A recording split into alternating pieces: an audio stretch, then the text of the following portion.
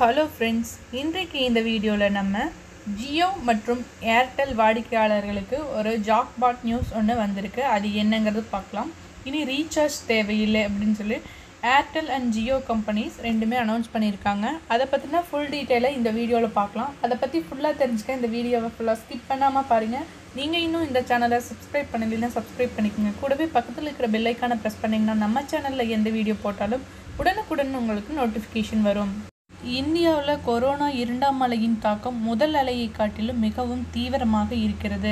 இதனால் நோய் தொற்று பாதிப்போர்களின் எண்ணிக்கை மற்றும் இறப்பு விகிதமும் அதிகமாக உள்ளது.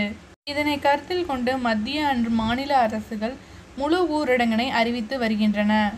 இதனால் ஏழை எளிய மக்கள் மிகுந்த சிரமத்திற்கு ஆளாகின்றனர். அதாவது வேலைக்கு செல்ல முடியாமல் அவங்கள் வருமானம் ஈட்டுவதற்கு வழியின்றி தவிக்கின்றனர்.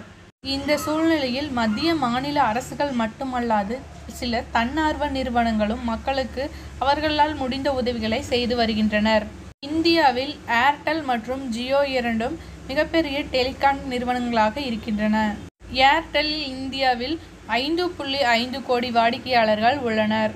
ஏர்டெல் டெலிகாம் நிறுவனமானது தனது வாடிக்கையாளர்களுக்கு கொரோனா காலத்தில் நாற்பத்தி ஒம்பது ரூபாய்க்கு ரீசார்ஜ் பிளானை அறிமுகப்படுத்தியுள்ளது. இதில் நாற்பத்தொம்பது ரூபாய்க்கு ரீசார்ஜ் செய்தால் முப்பத்தி ஒன்பது ரூபாய் டாக் டைம் ஆட் ஆகும் மற்றும் நூறு எம்பி டேட்டா கிடைக்கும்.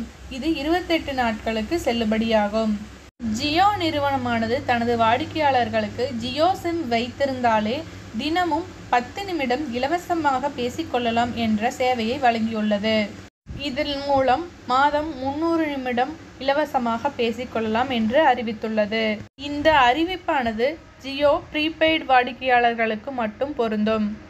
இன்றைக்கு இந்த வீடியோவில் நம்ம ஜியோ மற்றும் ஏர்டெல் அதன் வாடிக்கையாளர்களுக்கு என்னென்ன சலுகைகளை வழங்கியிருக்காங்க அப்படிங்கிறத பற்றி பார்த்தோம். இந்த வீடியோ உங்களுக்கு பிடிச்சிருந்தா லைக் பண்ணுங்கள் ஷேர் பண்ணுங்கள் இல்லை டவுட்ஸ் இருந்தால் கமெண்ட் பாக்ஸில் கமெண்ட் பண்ணுங்கள் தேங்க்ஸ் ஃபார் வாட்சிங்